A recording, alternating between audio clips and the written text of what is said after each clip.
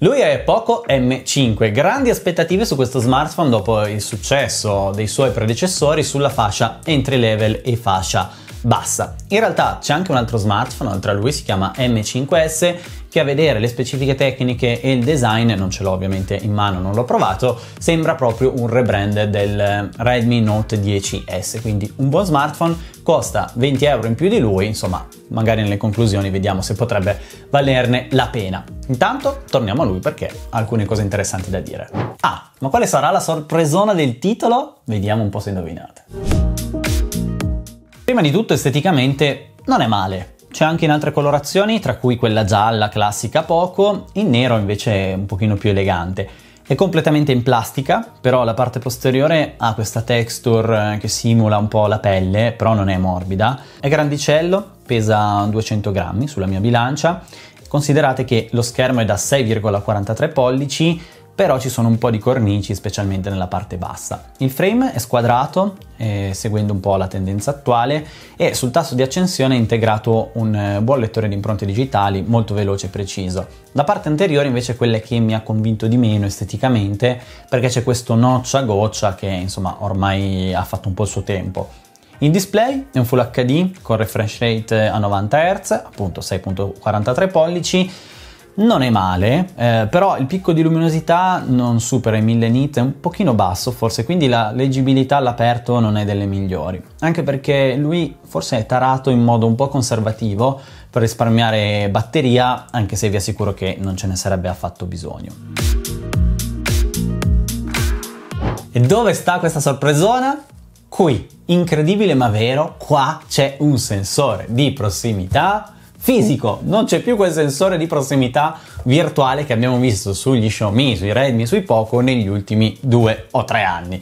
Favoloso, incredibile, non so perché su questo smartphone entry level sia, stata fatta questa scelta, se sia l'inizio di un nuovo percorso o se sia puramente un caso, però qua funziona benissimo e oh, forse ce ne siamo veramente liberati. La scheda tecnica è da entry level, c'è un MediaTek Helio G99, 4 GB di RAM LPDDR4X, 64 o 128 GB di memoria UFS 2.1. Vi consiglio senza ombra di dubbio il 128 GB, costa 20 euro in più, però sono ben spesi perché come vedete basta veramente poco per andare a saturare i 64 GB e io non è che abbia fatto tante foto e video. A livello di prestazioni fa quel che può. Ci vuole un po' di pazienza perché soprattutto nel passare da un'app all'altra, quando non sono già aperte in background, ci mette un pochino, eh, ma credo che insomma se siete smanettoni non vi rivolgereste in ogni caso a questo tipo di smartphone. Per il resto la parte telefonica funziona bene, è un dual SIM, tra l'altro dual SIM fisico con anche lo slot per espandere la memoria,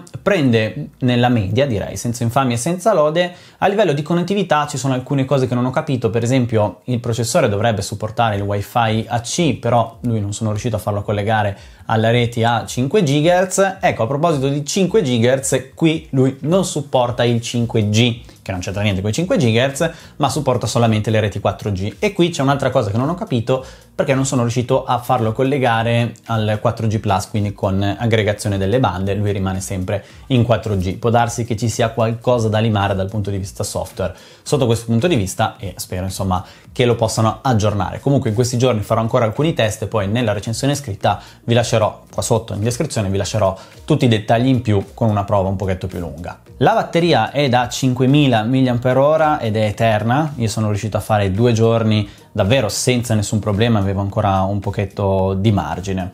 A livello software abbiamo la MIUI 13 che è basata su Android 12. Non chiedetemi info sugli aggiornamenti perché con poco è difficile dare un giudizio. Diciamo che tendenzialmente dovrebbe ricevere almeno un major update, quindi Android 13, e un paio d'anni di patch di sicurezza, ma ci sono smartphone della stessa azienda del passato che hanno ricevuto un solo update o nessuno nella, nella versione base, diciamo gli entry level. Comunque qui abbiamo una semplificazione della MIUI con alcune funzioni in meno, ma nel complesso rimane un software secondo me gradevole e molto personalizzabile. Il, il, ehm, il, launcher è quello poco, che è efficace, devo dire, nella sua semplicità. Out of the box avrete un bel numero di app preinstallate che dovrete preoccuparvi di disinstallare se non vi interessano. Più che altro occupano inutilmente un po' di spazio che, insomma, fortunatamente potrete recuperare. Fotocamere, c'è una principale che è un Samsung da 50 megapixel, credo sia il JN1 f1.8 senza stabilizzazione ottica, poi c'è una macro da 2 megapixel a fuoco fisso e un sensore di prossimità da 2 megapixel. Le foto sono scarsine, ma tutto sommato sono anche in linea con i prodotti di fascia bassa appena usciti. Ecco, forse prendendo uno smartphone magari dello scorso anno di fascia superiore, che ormai è sceso di prezzo, potreste avere dei risultati migliori, anche rimanendo in casa Xiaomi, ecco.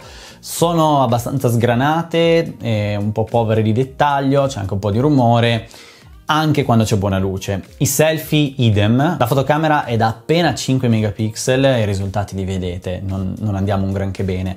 Di notte poi la qualità scende ulteriormente, diciamo pure senza troppe remore che non è uno smartphone per fare foto di qualità, anche se magari con qualche aggiornamento potrebbe migliorare. In particolare spero migliori un pochino nei video perché ora come ora lasciano molto a desiderare, manca qualità dell'immagine, manca la stabilizzazione e la risoluzione massima è il Full HD a 30 fps.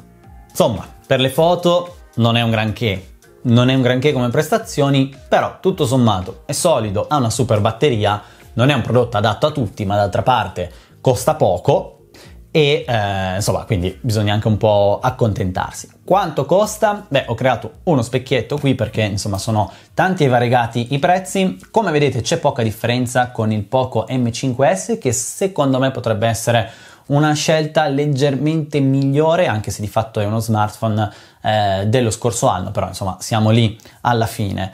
Eh, come vedete ci sono anche delle buone offerte, io ve lo consiglio senza dubbio sotto i mm, 160 euro, 170 di più probabilmente si trovano smartphone migliori anche in casa Xiaomi per esempio il Redmi Note 10 Pro, Redmi Note 10 eh, dello scorso anno che sono ormai scesi di prezzi anche alcuni prezzo e anche alcune, alcuni Xiaomi degli anni passati.